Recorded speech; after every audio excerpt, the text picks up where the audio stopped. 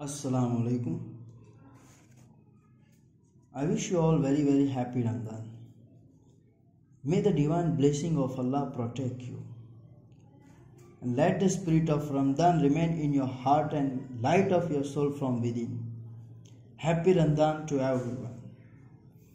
May the blessing of the month of Ramadan be on all of us. And may the holy essence of this auspicious month remain in our heart and life. Amen. In this video, MCQ based test of 40 marks is being conducted, keeping in mind the lesson Memories of Childhood. You all will write your answer in your English notebook and submit it, submit it to me on the very first day of the school. Up till now, two tests have already been conducted, and this is the third one. And I'm here to remind you. The first test that was taken, keeping in mind the lesson on the very on the face of it. The second test was conducted keeping in mind the poem My Mother at 66.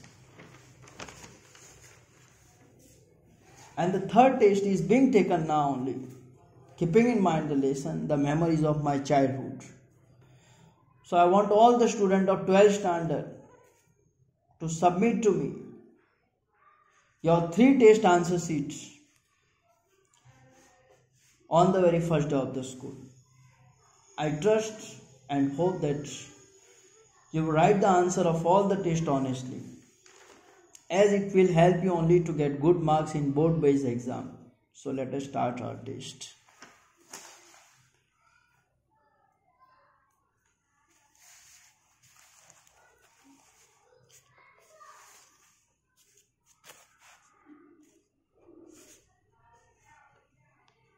The first question The lesson memory of childhood is an autobiographical episode, B. A fable, C. A legend, legend, and D. A play.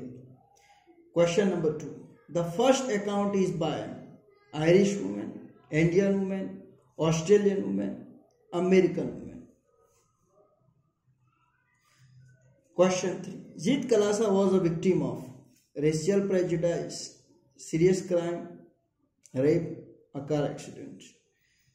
Number 4. Zitkala-Sa's real name was Paul Esbach, Tishani Doshi, Gertrude Simmons born in Hillary. Question 5.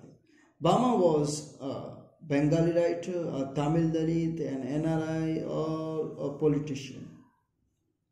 Question 6. Zitkala-Sa's experience started with her being handcuffed, tied to a chair, C. Tied with a chain to a bedpost, and D. Tied to a table. Question 7. Zitkala-Sa was being constantly observed by a woman who had a pale face, a fair complexion, dark complexion, angry look.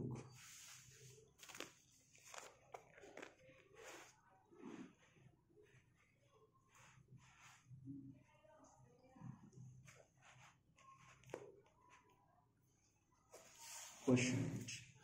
The line of the girls in which the author was placed were marching into the study room, playgrounds, kitchen, dining room. Question 9. The Indian girls wore clinging, uh, clinging dresses, nightgowns, trousers, skirts. Question. The small girls wore shorts, tunics, frocks, sleeve aprons. Question 11. As the bell rang, the whole group of pupils sat on the floor, drew a chair from under the uh, table, sat on the stool, knelt down on the ground, and Question number 12. As the author pulled out her chair, the other student snatched it.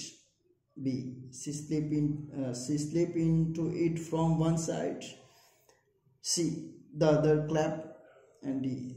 The other people made fun of her. We'll discuss the rest of the test uh, in the next video.